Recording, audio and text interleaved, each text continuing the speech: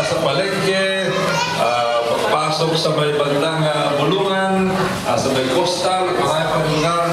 Ako'y natutuwa na napakainit parati ang pagtanggap na iyong binibigay sa akin. Maraming salamat para sa rin. Para sa ng congressman ng Long District.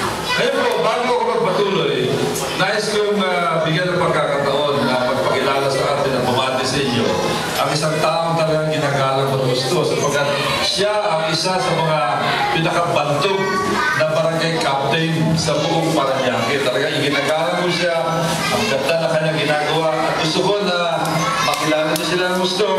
Magkape bahay lang kayo, sila ay nasa kabilang ibayo lamang, sa kabila ng ilog. At yan ay walang iba na sigurado kilala kilala na hindi ko dapat pakilala pa ang ating kaibigang barangay mula sa barangay San Pedrinho, si Kapitan Mel De Leon. Dito po siya. Sobrang.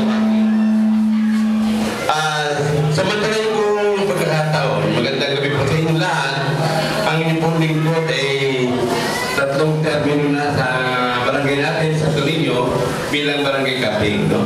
Ah, ito po yung panghuling taon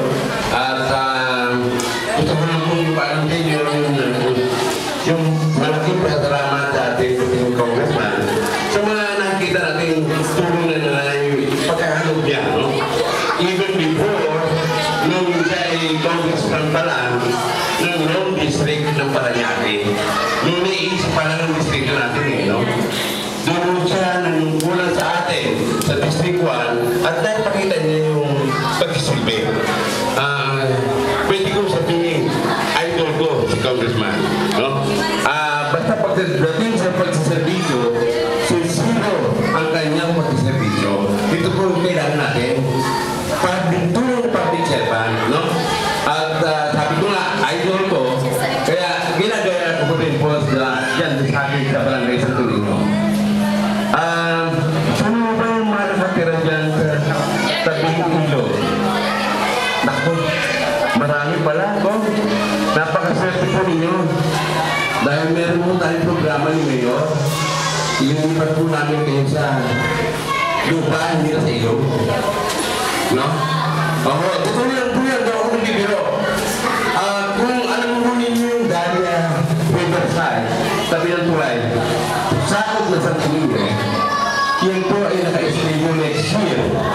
na ilipat namin. Yan po sa C5, barangay ng Gartalin. Di ba? Okay. Pero ang usapan namin ngayon, pagkatapos nun, mga 120 families, isusunod naman namin sa Rata. Dahil kayo, kasi ang unang programa niyan, actually nag-umpisa sa akin. Ako po ay naging presidente ng Rotary Club.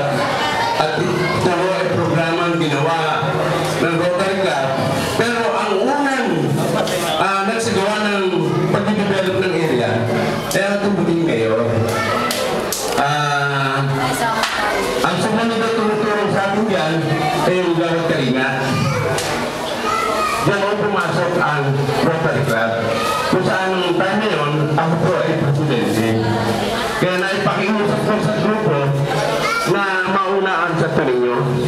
Pero kung pilang muna pinibigyan, ang isusunod na agad namin is Loretta. So umasa po kayo mga taga-Loretta. Kasama po kayo sa programang gagawin natin.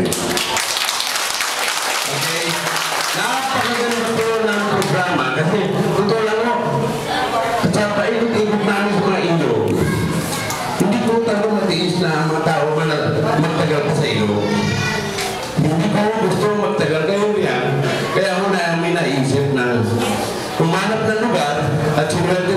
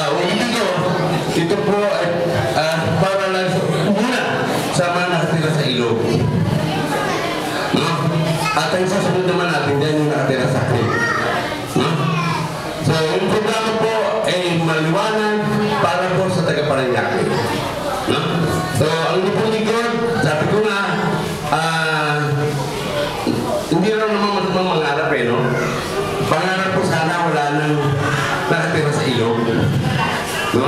At ito sa tingin ko may sasagawa. Ang programa po, mga 3 to 5 years. No? So, kung abutin mo siya ng 7 years, hindi balik. Basta na ang pinaral namin. No? Okay.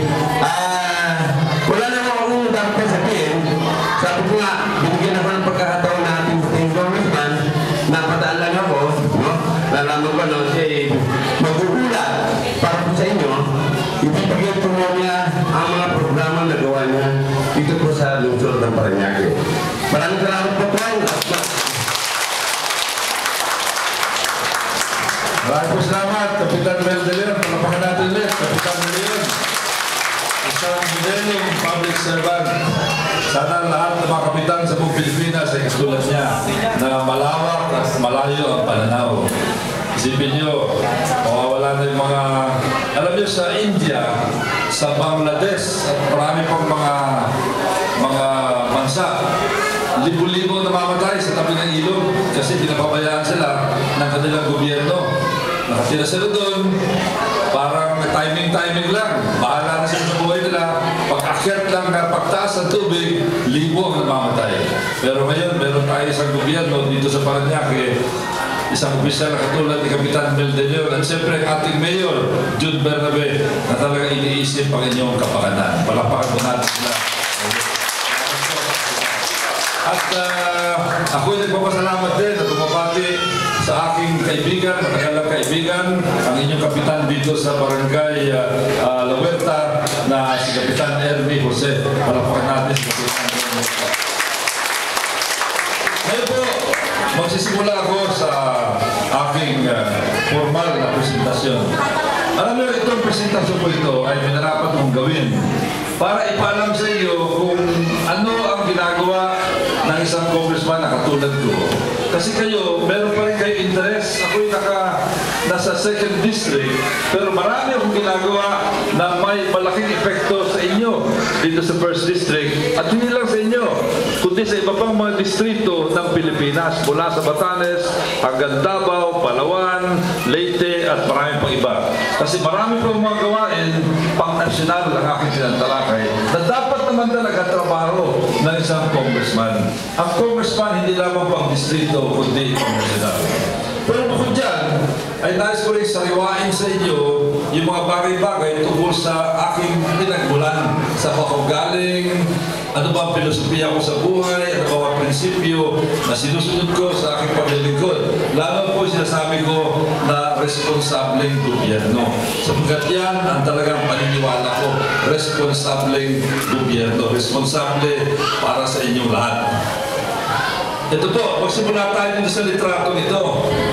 Alam niyo, itong litratong ito ay kinuha doon sa isang purok sa San Dionisio, malapit sa inyo. Ito sa Lim Compound, siguro marami sa inyo nakarating na sa Lim Compound. Kaya ko pinakita ito, kasi talaga ako yung nagulat.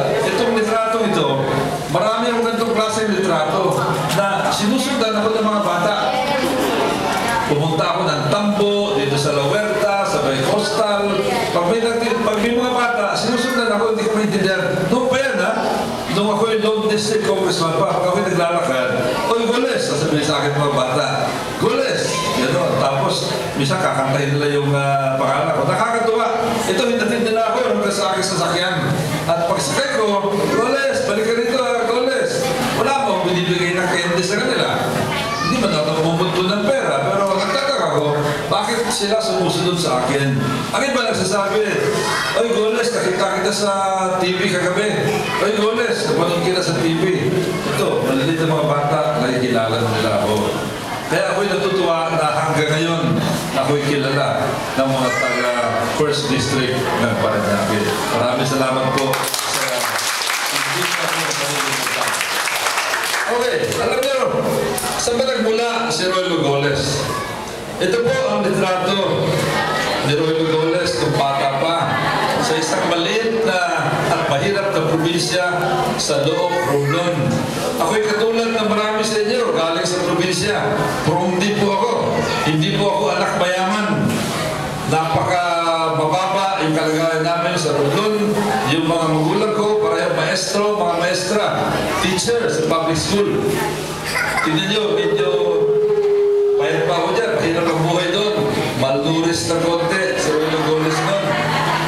Yung bahay namin, kawayan. Yan, ganyan, gawa sa kawayan. Yan yung bahay namin. Kaya alam ko kung paano mamuhay ng ganyan kasimple.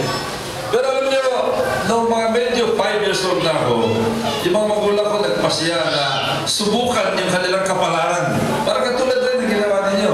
Uh, mga ibang bayan para masubok. Ano ba kapalaran naghihintay sa ibang lugar? Kasi sila nangangamba na baka kung hindi sila umalis, kung ano sila pinanganak, hanggang sa huli. Ganun pa rin sila at kami, ganun din. Kaya kami ay nagpunta sa Metro Manila at lumipat kami sa isang low-cost government housing project. Sinuwerte yung aking mga magulang na, na isa sila sa mga napili na ilagay dito sa bagong housing project. Low-cost government housing project, ito yung mga bahay, mga simple lamang, tinan mo yung kali namin, lupa. Ah, lupa lamang, wala pang espalto, hindi walang graba dyan. Kaya alam ko kung paano mamuhay sa ganitong klaseng lugar. Ito naman ang litrato doon sa likod ng bahay namin, sa taburan namin. Ito yung kalahati, yan yung bahay namin, yung kalahati kami bahay namin. Duplex kasi kami. Magkakadikit yung mga bahay. Sila-sila mga bakod, yung lutuan ng kapitbahay namin, ito. Tapos meron planggana doon sa taas. Bakit meron planggana? Yung planggana para kulahan. Yung planggana, pabigat doon sa bubong para hindi takayin ng hangin yung bubong. Kaya alam namin yan. At yung sampayan, marami po nagumulan sa akin pag naglalakad ako sa mga bakuran na meron pa sampayan, mabilis ko lumakad. Kasi alam ko yung ibang mga anak mayaman, takot pumasok sa peskilita. Pag pumasok, katakot-takot yung bodyguard nila. Pero hindi po ako kasi sanay ako sa ganyan.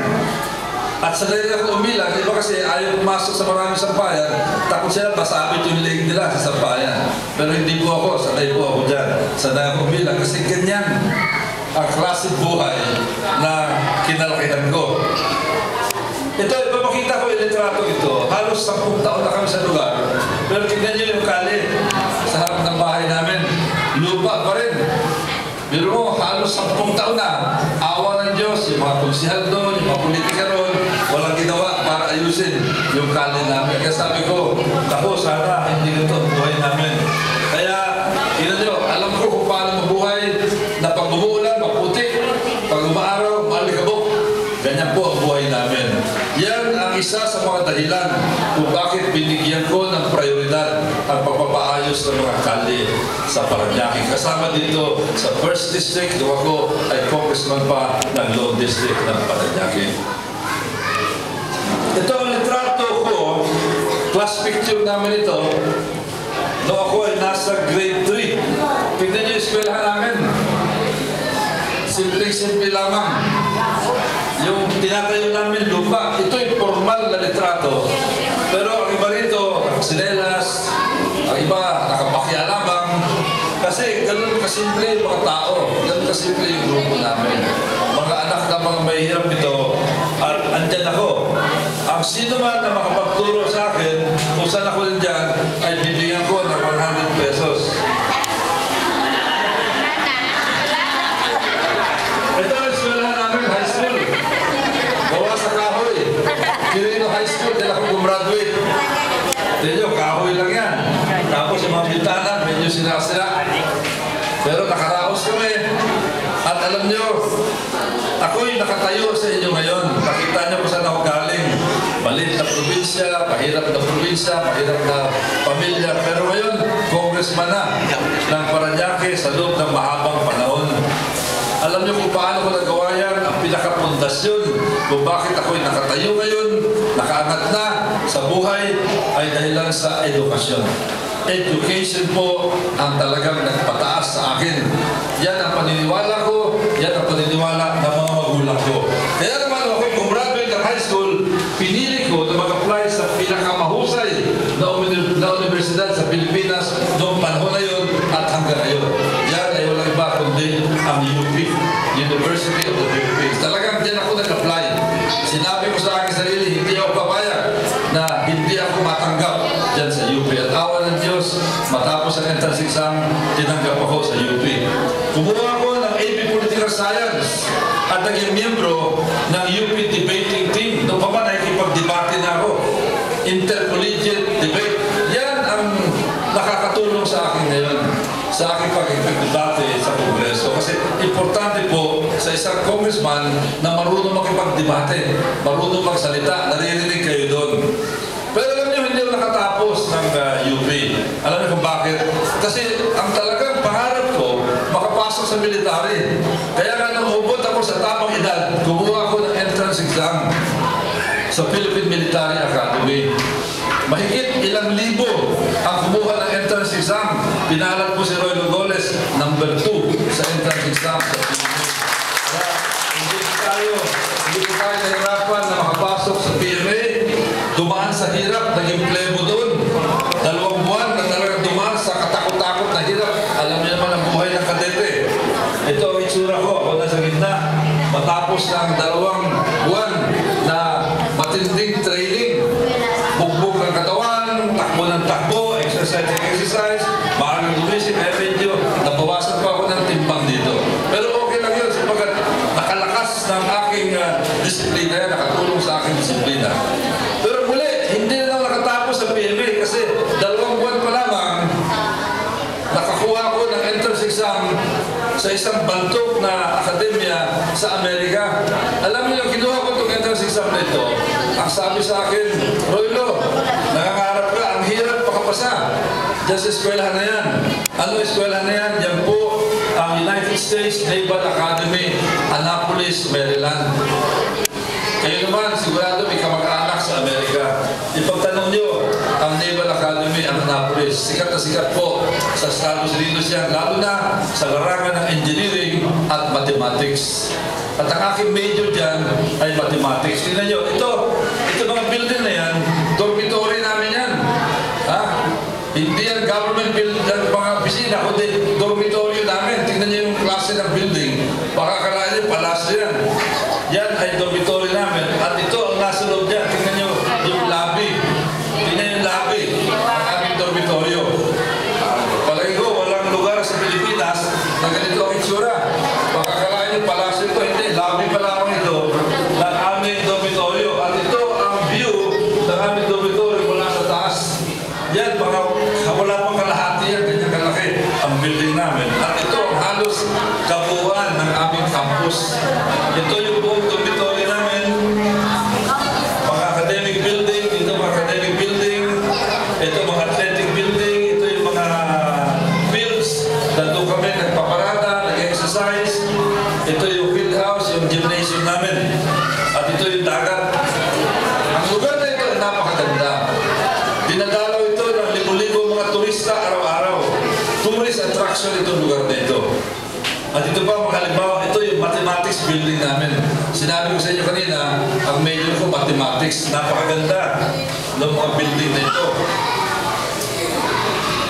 Habang ako'y nandun sa academy, sa Annapolis, nung bakasyon ko, sa halip ng magbakasyon, ang ginawa ko, nag-volunteer ako na mag-training sa US Army Airborne School sa Fort Benning, Georgia. Bakit ko ginawa ito? Alam bakit? Kasi gusto ko subukan yung lakas at tibay ng aking loob. Kasi hindi biro yung lulundag sa aeroplano, di ba? Sino sa inyo nakalundag na sa aeroplano dito? Ay po, nakalundag na kayo? Medyo mahirap, kailangan matibay. Sabi ko, kaya ko kaya yan? Nalubundag sa aeroplano. Kaya nag-enroll ako dyan. Ang tawa ng Diyos, nakapasa naman ako, nakalundag naman ako.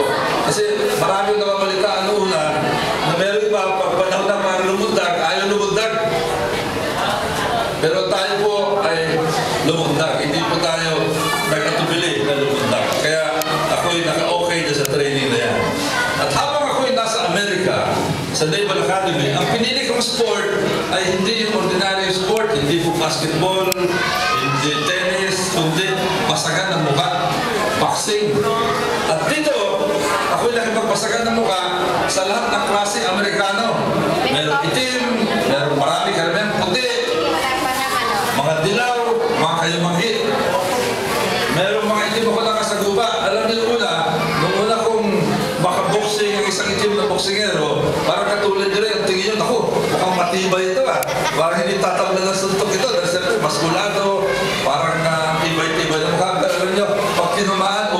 din pala. Pag napuruhan mo, bumabagsak din pala. Kaya si Congressman Goles po, nag-boxing ng apat na taon at apat na taon ako'y naging champion sa Naval Academy. Ang isa sa mga nakalaban ko ay isang itim na boksingero. Ito po, Charlie Bolden ang kanyang pangalan. Kaya kung pinapakita ito, sapagkat si Charlie Bolden sumikat sa Amerika. In fact, ngayon sikat siya sa Amerika. Bakit? Sapagkat siya ay naging astronaut, naging Major General sa US Marines, at ngayon siya ang administrator, ang pinuno ng National Aeronautics and Space Administration, NASA. Yan ang opisina na nagpapadala ng mga tao sa kalawakan, outer space, space shuttle, mga satellite, at buwan. Sipin nyo, nakalaban ko ngayon, sikat na sa Amerika. Pero kahit na siya, meron po isang yugto sa buhay niya na hindi niya makakalimutan. At yan ay nang makalaban niya ang isang Pilipinong boksingero at tinalo siya ng Pilipinong boksingero na yan.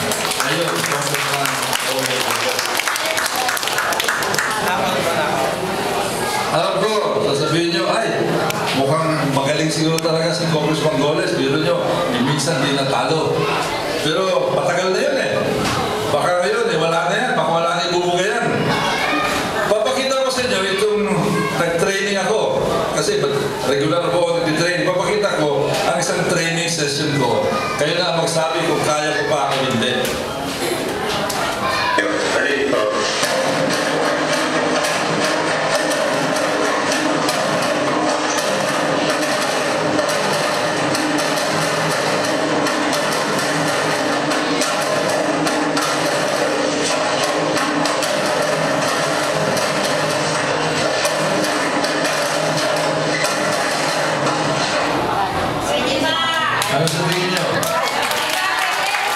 Pwede ka wala, baka sila sumubok. Ayun po,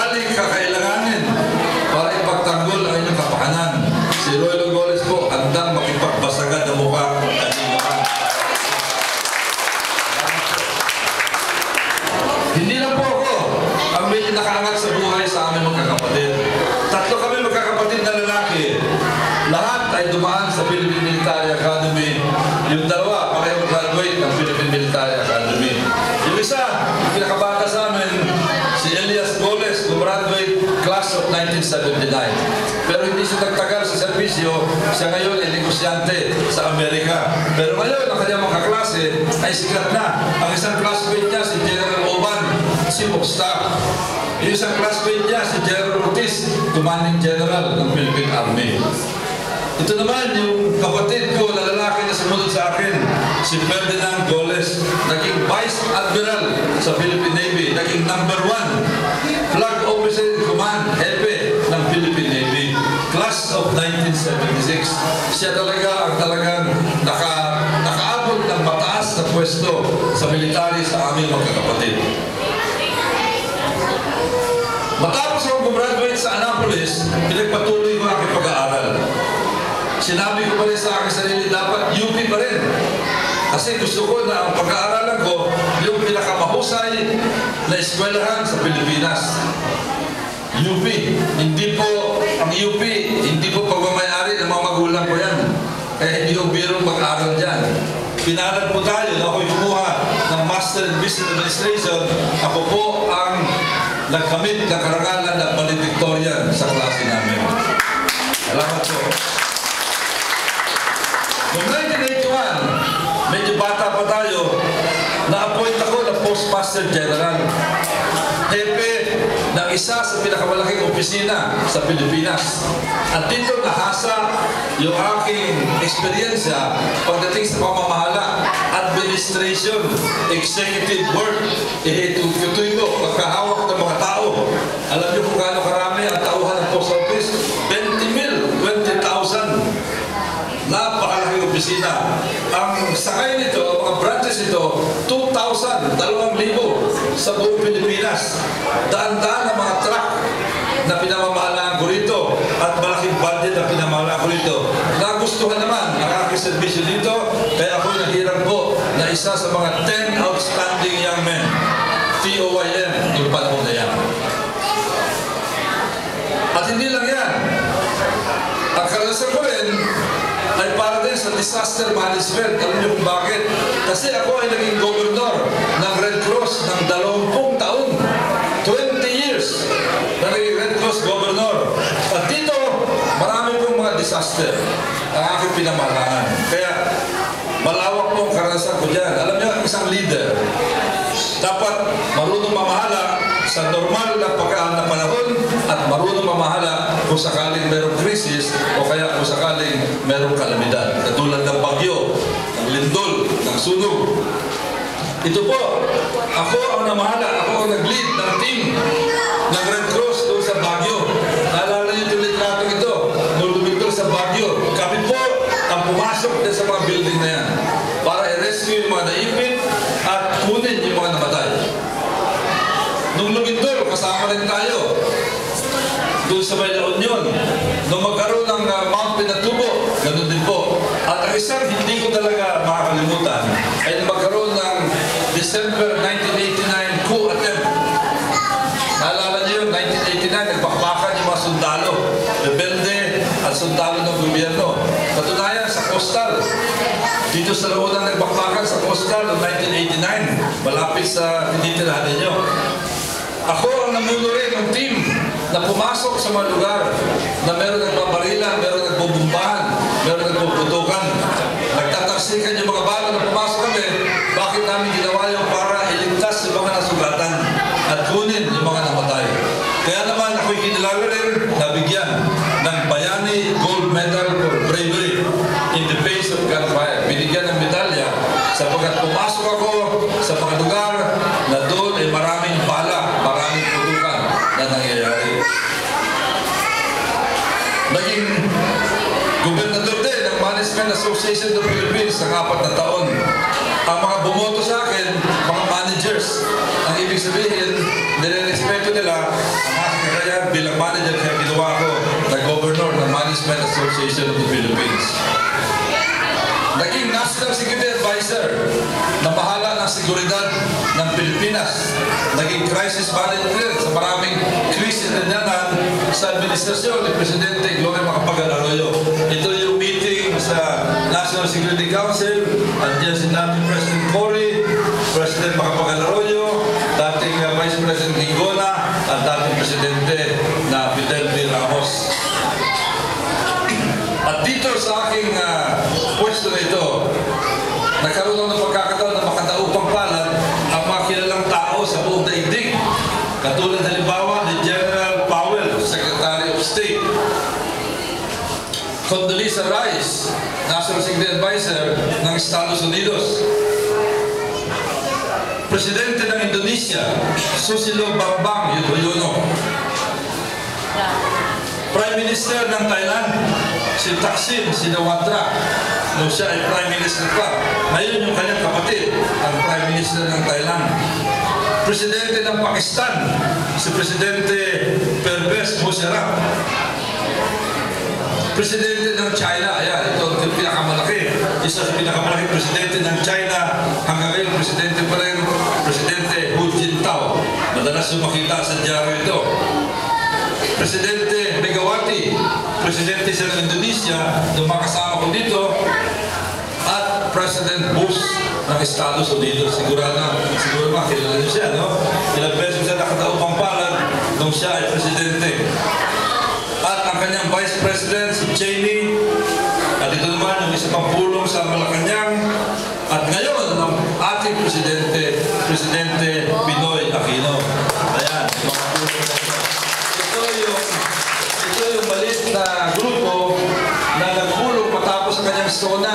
noong July.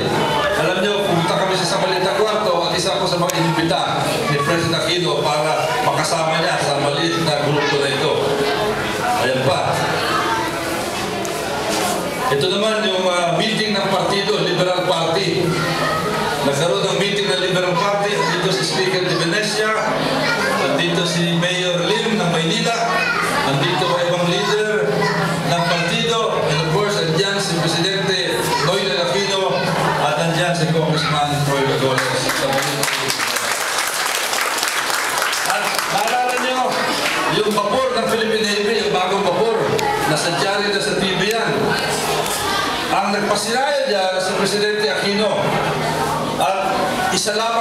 Congressman ang naimbita yan sa pagpapasinaya niya.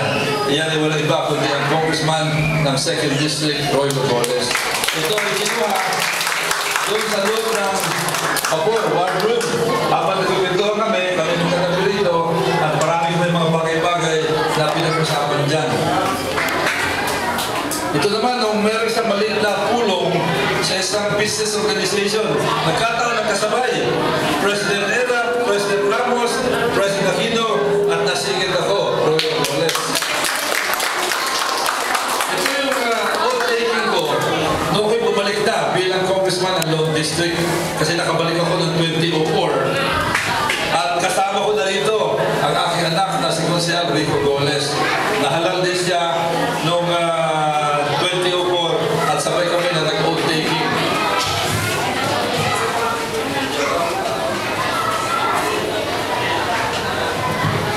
Thank you. Ah, ito po yung oath taking.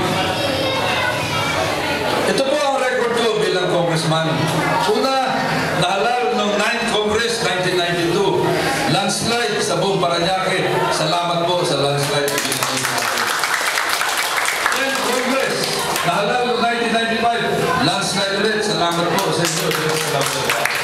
11th Congress, nahalal ulit noong 1990. Landslide pa rin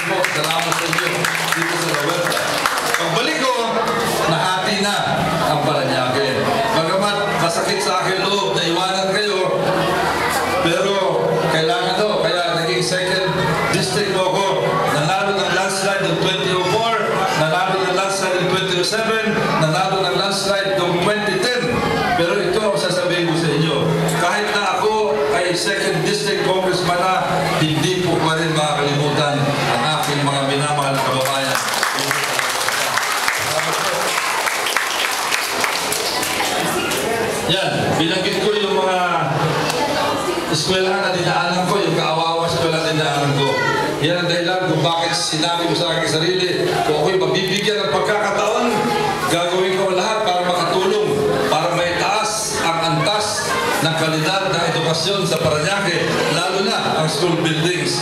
Kaya sunod-sunod yung mga school buildings ko, kaya kinilala agad ako na siyang nagpagawa ng pinakamaraming school buildings sa kasaysayan po ng Paranaque. Ang isang halimbawa dyan, yung itong malaking building